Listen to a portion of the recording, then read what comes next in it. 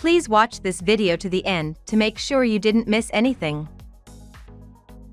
Supermodel Adriana Lima's figure has changed drastically since the birth of her third child last fall after only a few months she returned to the runway, and has been harshly criticized by her detractors who say she needs to lose weight.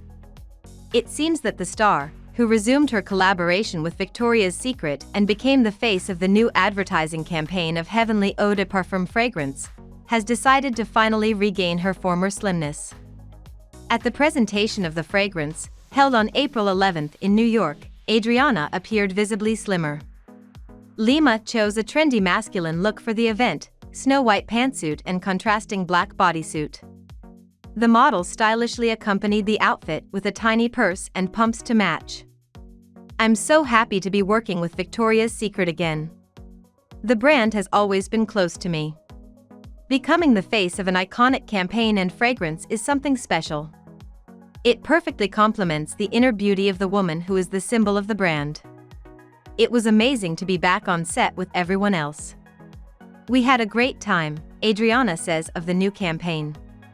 Recall that Adriana Lima has been a Victoria's Secret angel for almost 20 years. She first took part in the legendary lingerie show in 1999 and announced her departure in 2018.